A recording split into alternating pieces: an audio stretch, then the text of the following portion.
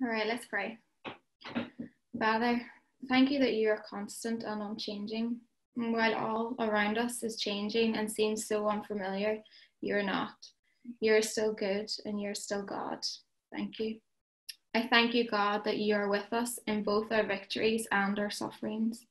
You are not a God who only associates with one or the other, but Jesus, you know both. Mm.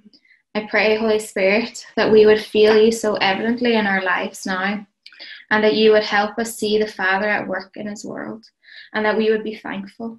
Holy Spirit, draw near to those of us who are suffering right now. God, may we learn more about you and who you are through our struggles and time of suffering.